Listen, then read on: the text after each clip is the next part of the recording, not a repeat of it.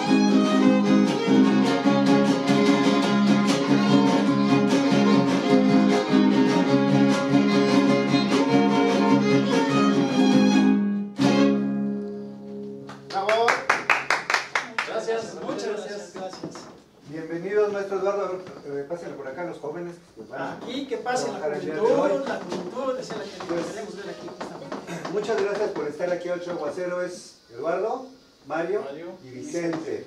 El trío aguacero, maestros, muchísimas gracias por acompañarnos. Estamos en pleno festejo ya de... Prefestejo del Festejo El del mes patrio, ¿verdad? Y la, eh, la identidad mexicana en todo lo que, en todo lo que da. Así es. Pues gracias por estar aquí, maestros. Y como siempre tenemos a dos entrevistadores estrella. Aquí dos jóvenes talentosos, alumnos de escuelas secundarias técnicas. Les voy a pedir que se presenten. Empezamos con nuestra guapa señorita. ¿Cómo está? Hola, buenos días, me llamo Giselle. Giselle, muchas gracias. ¿Y acá el joven? Ah, yo me llamo Ciel. Ociel. Así es. Bueno, pues están aquí los maestros Eduardo, Mario, Vicente y los dejamos con ustedes. ¿Qué quieren saber? A ver, lo que quieran preguntarnos, ahorita nos podemos contestar. Preguntas, pregúntenos. Así como cuando estamos en la clase con el, con el docente frente al grupo y nos da pena preguntar, pregúntenos, pregúntenos. Bueno, yo tengo una duda. ¿Qué los inspiró, ¿qué los inspiró a cantar este tipo de música? Bueno, pues antes que todo, nuestro origen, nosotros somos coterráneos de la región huasteca, en nuestro caso de Chicontepec, Veracruz, y Vicente Amador de la Huasteca Hidalguense en Huitzilín, la región huasteca que está integrada por seis estados. ¿Y nos pueden presentar sus instrumentos? Por supuesto, por allá paisano. Aquí te Guapaquera.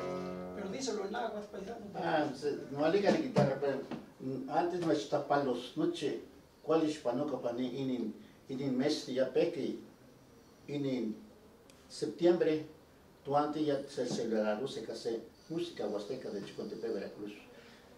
Gracias por que nos hayan invitado. Estamos, recuerden que estamos en el mes de septiembre, ya festejando nues- nuestras fiestas patrias. Y gracias por habernos invitado. Estamos aquí presentes.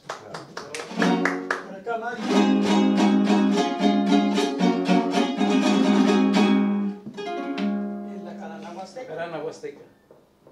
Y acá, bueno, este instrumento creo que ya es más conocido, es un instrumento del viejo mundo que es el violín tan polifacético, universalmente hablando. Este, ¿Cuánto tiempo llevan juntos? Llevamos 38 años, estamos por cumplir ya los 39. Y créeme que pues eh, hemos, hemos estado interpretando el son huasteco de nuestra tierra con mucho gusto, con mucho entusiasmo en diferentes espacios.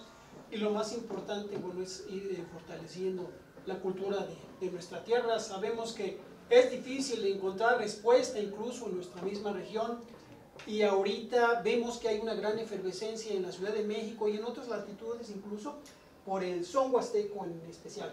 Digo, el son huasteco, aquí Alberto no me dejará mentir, y aquí mi paisano, Estado Hidalgo, que es algo que nos que es una amalgama de emociones, porque se baila, se toca, se canta, se disfruta en todo sentido y además que nuestra querida tierra es muy exuberante todavía en recursos naturales. Este, ¿Qué significa ese mantis que trae en su guayabera? Ah, no, pues Buena pregunta. una esta mantis. Primero te voy a decir cómo se le llama a nuestra tierra a esta mantis. Se le llama Campamocha campamoche en náhuatl quiere decir dónde está tu casa. Y yo creo que tocamos la campamocha para sí, Y ahorita les, explicamos más ampliamente. Vénganse muchachos y regresamos. Échalo, pues, Claro que sí, dice.